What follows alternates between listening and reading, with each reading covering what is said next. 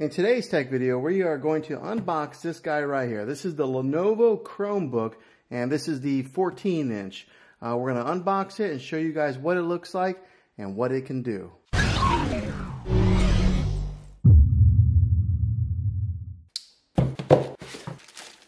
Okay, once you get it out of the box, this is all it comes with right here. So it's uh, pretty pretty simple. All it has is, you, you get your laptop, laptop, obviously. But right here is your power cable that this end here hooks into the brick right here.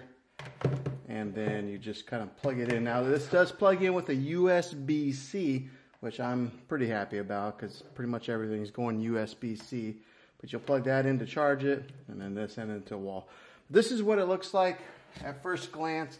It's got the Chromebook branding here at the top and then it's got a Lenovo uh, logo right there. Um, it is kind of, I just brought it in from the outside, so it's cold coming into a warm weather, so that's why you see all those fingerprints on there. But let's go ahead and open up and see what it looks like on the inside. Okay, so they give you a little Lenovo services, uh, thank you paper if you want to register this. All right, but this is what the laptop itself looks like. It's got a nice gray color to it. The keys have a tactile feel, so you can hear it whenever you do uh, tap on it, which some people like. Some people, it's all matter just of a preference. Some people like the soft tap. Some people like the tactile feel. Um, it's got the Lenovo branding here. Over here on the corner, it does have a couple decals. Now the specs on this computer here is, it is a 14 inch. And when they say 14 inch, let's go ahead and put a tape measure on it. So it's 12, the actual screen size is just over 12 inches and then it's about 7 inches on the height. Now when they say 14 they're measuring diagonally from one corner to the other corner. That's what the 14 inch is. Now this laptop here comes with 4 gig of memory and it's got a 64 gig eMMC uh, which is the inside component there where it runs the processor. So it should be plenty enough fast for uh, your basic average you know student who takes it to school or if you're somebody who just likes to browse the internet or check emails, watch a few YouTube videos, this computer will do the job for that. Now, if you're going to be somebody who's doing a lot of heavy lifting like video editing or photo editing, uh, you might want to get a little bit uh, stronger computer that can handle that kind of processing power. But for your simple, um, you know, student or uh, somebody who's not on their computer like nonstop throughout the day, then this will be sufficient for them. But let's go ahead and put a power cable to it, turn it on, and get it set up. One thing I do want to point out before I do power it on is the ports on the side here. So on the side you have the USB-C where you plug it in to give it power.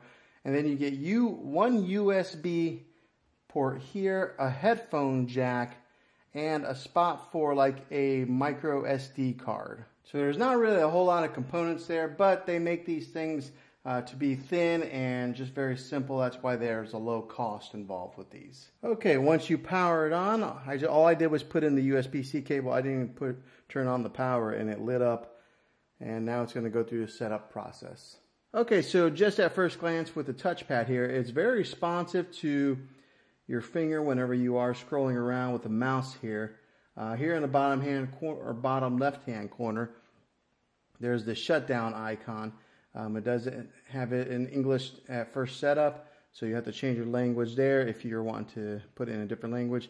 There is the accessibility icon here, and then right here it says let's go. So we're going to go ahead and click on let's go to get it set up.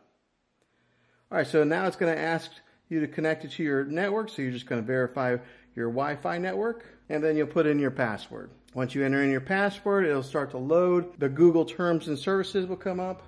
You just click on accept and continue. Now it's going to check for updates. Over here on the bottom hand corner, you'll see there's a Wi-Fi icon that lets you know how strong your signal is. There is a battery indicator and then the time. Okay, so at first launch here, it is going to download all the updates. Now it says that I've got about 25 minutes left, so it depends on your Wi-Fi connection, your speeds, uh, how quick this will be.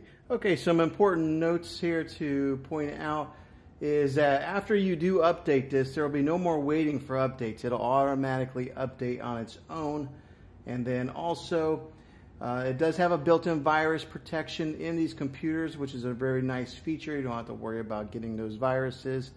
Um, your Google account is your sign-in, so you will have to have a Google account in order to get signed in here, which is very different from like signing into a, a Windows computer where you have to put in a PIN number or a password. So your Google account will be the sign in information for this. And then as far as apps go, you'll find all your apps on the Google Play Store to put on this computer.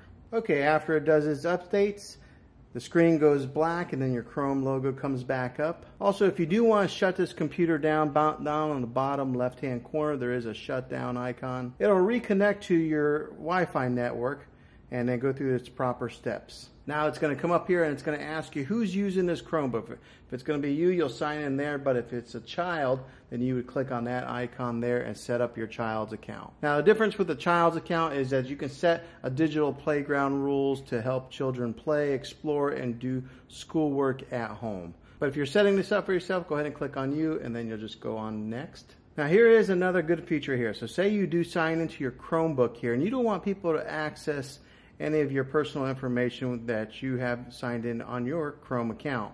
Uh, down in the bottom left hand corner again next to the shutdown icon there is a browse as guest so that way if you do lend your computer to somebody and they want to do some shopping online or something like that they can browse as a guest versus not being a, able to access all your settings in your Chrome account or your Google account.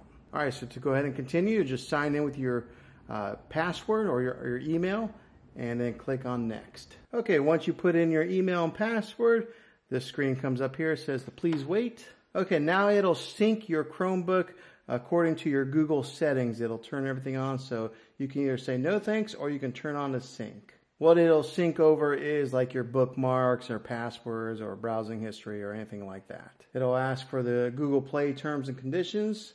You just click on more. Okay, and then now the Google Assistant will continue loading. All right, so it'll ask you, it says your Google Assistant is ready to help. So you just click on I agree.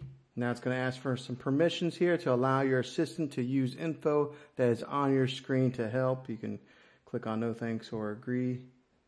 And then here is to access your assistant with uh, Hey Google. So everything is voice AI anymore. So this would be a way that you could talk to your computer without actually touching it just by saying, hey, Google. All right, so now it's going to teach the assistant to recognize my voice here. So I'm going to say, okay, Google, okay, Google, hey, Google, hey, Google. Okay, so it took those voice prompts and now it's setting it up to my voice to get it all set up. Okay, it says hey, I'm, I'm all set.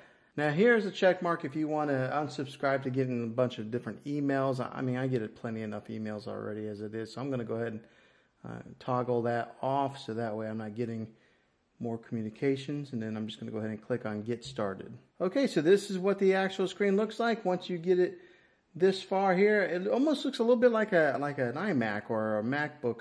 Uh, the way that the settings are, all the icons are in the middle here on the bottom. It looks like there's your uh, Google Chrome logo. There's the mail. Looks like files. Probably the Google Duo.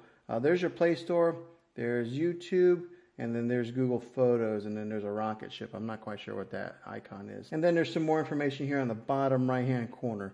But uh, yeah, this is what it, the Google Chrome book looks like. As far as the actual picture goes, uh, this is a pretty good looking screen uh, for what you get and for the cost of it. One of the best things about a Chromebook is the when you power it down and then you power it back up, it only takes just a few seconds, so it's really fast, and that's one of their uh, claims to fame is that they can power on very quickly. Okay, so when you tap on the bottom left-hand corner, this will come up here, and then you can search your device for apps, settings, or web, just like that. So almost kind of like the search menu on a Windows laptop.